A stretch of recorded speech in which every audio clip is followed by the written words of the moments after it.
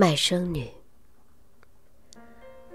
我是一个出卖身体的人，靠与男人睡觉来生活的人。在别人眼里，我很脏，不知羞耻。可我依旧是一个人，一个需要被理解，且需要活下去的人。我出生在一个农村家庭。我父母都是农民。父亲在我很小的时候就外出打工去了，开始每年都会回来，可后来就再也没回来了。听别人说，他在外面有了新的家庭。我与母亲还有弟弟相依为命。我的母亲。文化水平很低，只认识几个字。尽管如此，她还是希望我和弟弟能上大学，能成为有文化的人，能找到好工作。农村的生活真的太苦了，没有父亲的家庭更是无法想象的苦。母亲没了丈夫，村里的人都觉得她好欺负。在背后指指点点，又或者当面让母亲难堪。有的男人会帮着母亲干农活儿，甚至会有男人夜里爬上母亲的床，要与母亲发生关系。只要母亲答应，便可以得到一些钱。这些钱能让我和弟弟多买几本书。多买几支笔。十四岁那年，一个喝醉的村民冲进我家，强行把我扑倒，一只胳膊按住我的脖子，另一只手将我的衣服扯开。我大叫着：“妈妈，救救我妈！”可惜，妈妈不在，弟弟也不在。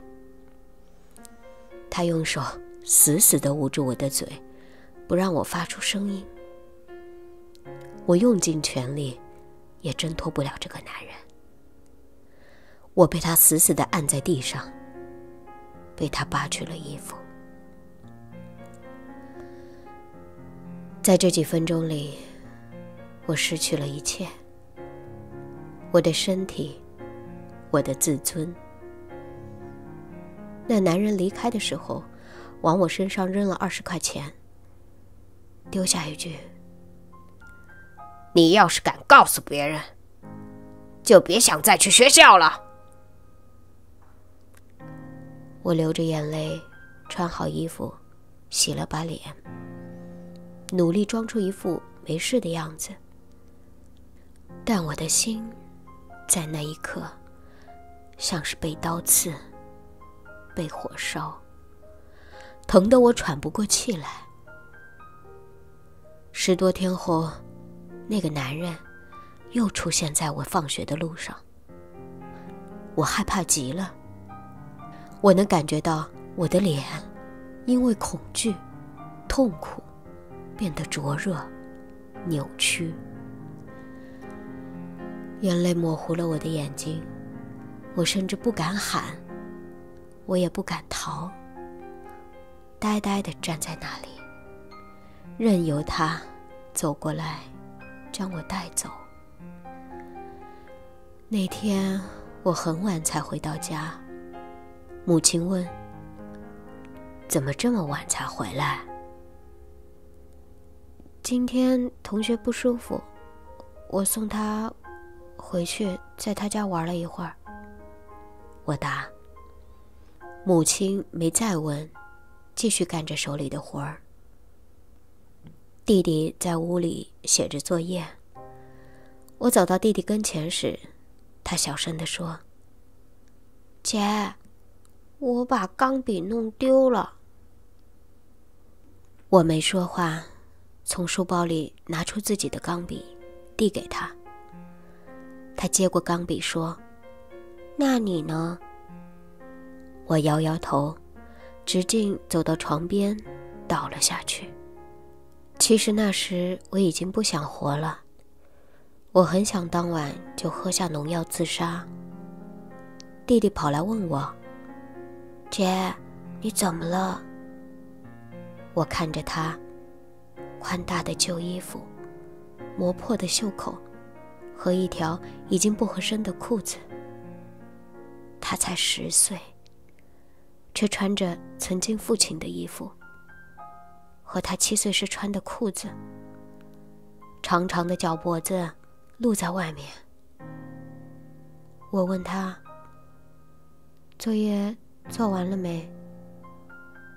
他回答：“还没写完。”我抓起他的手，轻轻的握了握。那天夜里，我怎么也睡不着。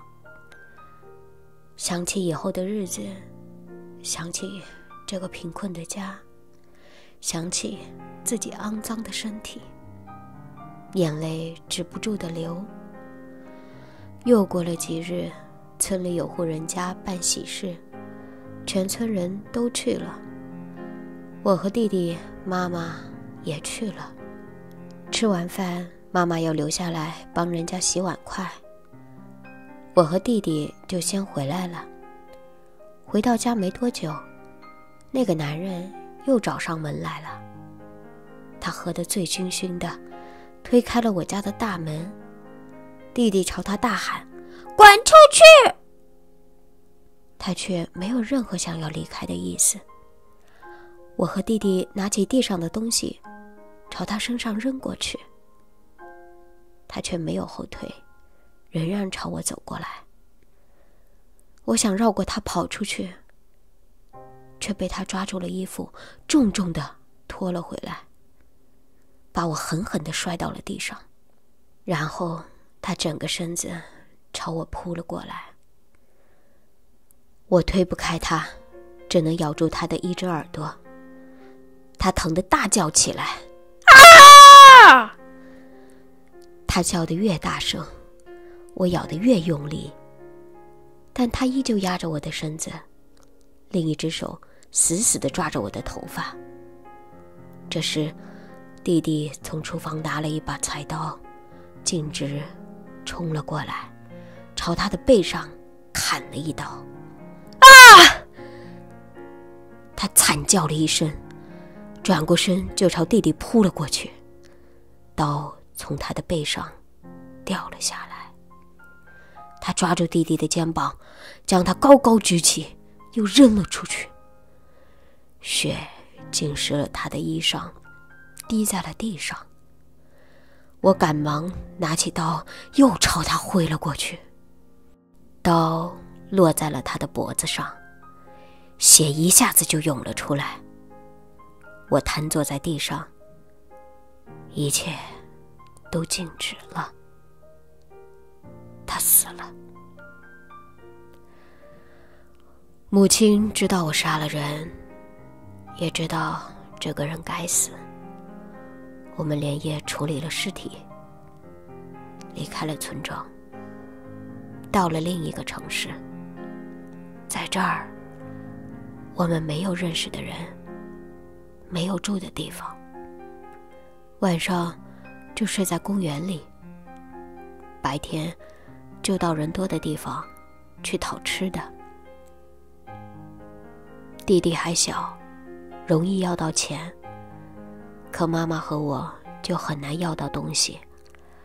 我们只能去市场捡别人不要的烂菜叶子来吃。后来，一个菜贩子看我们可怜，就教母亲卖菜，在市场的一个角落摆起了摊。从那时起，我们三个人就靠卖菜生活。弟弟和我都没再上学，日子一天一天就这样过去了。警察没找到我们，死神却来了。母亲一天比一天瘦弱，总觉得不舒服，我们也没钱看医生。就一直拖着。没多久，母亲就去世了。到死，我都不知道母亲得了什么病。那年，我十六岁，弟弟十二岁。这个年纪，我可以进工厂打工了。弟弟还小，他应该回到学校。问过很多工厂，他们都不要我，却在工厂附近遇到了一个老阿姨。她让我跟她走，到她店里打工。我知道。她要我干什么？我只有一个条件，就是能让我弟弟上学。他答应了。于是，我穿上暴露的衣服，抹着鲜艳的口红，踩着高跟鞋，和其他女人一起站在客人面前，任人挑选，像一个玩具。我遇到过多少客人，我已经记不清了。陪客人一个小时能赚两百，陪客人一天能赚五百。我的表情从不情愿到不自然，最后变成微笑。一年后，我就能和客人们抽烟、聊天、喝酒、打趣了。弟弟也进入了中学，他住在学校里。我们一个月。能见上一面，每次见他，他都长高一大截。只有在他面前，我才觉得我还活着。我赚的钱也能够让他上学。我告诉弟弟，我在工厂上班，但他似乎已经察觉出我不像一个普通的工人。我身上的烟味儿，我的语气和我的表情。早已出卖了我。一年又一年，我接了无数的客人，已经麻木了。我不想这么活着。赚钱，只是为了弟弟能更好的活着。弟弟好，我就好了。